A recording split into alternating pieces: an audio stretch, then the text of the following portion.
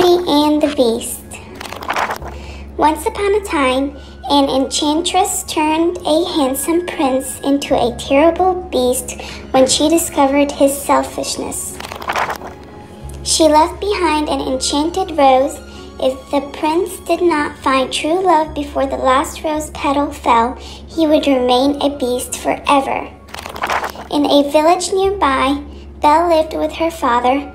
More than anything, Belle wanted an adventure like those she read about in her beloved books. Gaston wanted to marry Belle, but she refused. Belle thought he was a beastly bore, and Gaston didn't understand why she was always reading. It's not right for a woman to read, he said.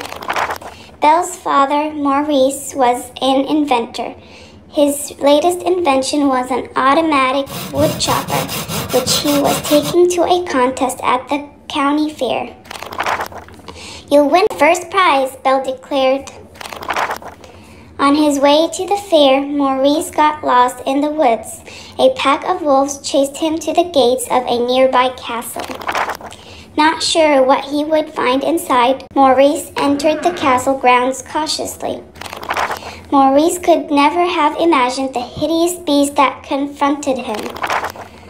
Thinking Maurice had come to stare at him, the beast was furious. Without mercy, he locked this unwanted visitor in the dungeon. When her father's horse came home alone, Belle went in search of her father and found him locked up. Belle begged the beast for Maurice's freedom. Take me instead, she offered. The beast agreed, making her promise to stay in the castle forever. On her first night, Belle met the castle servants. The spell cast by the enchantress had turned them into enchanted objects. They were funny, friendly, and treated Belle like a special guest. At dinner time, Belle refused the beast's invitation to join him, which made him roar with frustration.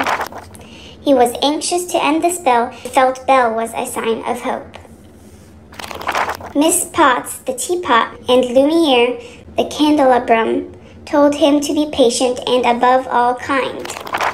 Later that night, Belle came upon the magic rose the enchantress had left behind.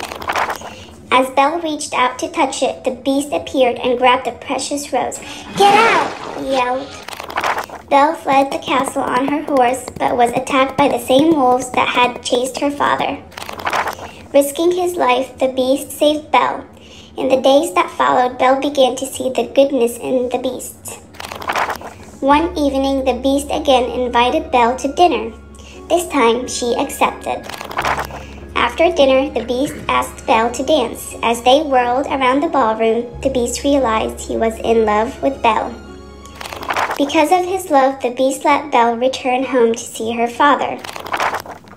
When Gaston heard her speak fondly of the beast, he grew jealous and stormed the castle.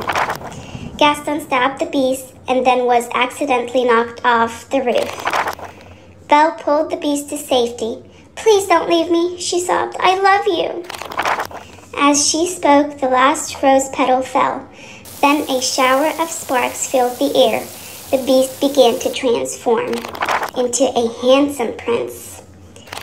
The enchanted objects were filled with joy as they too turned back into humans and watched their prince and Belle fall in love anew. The end.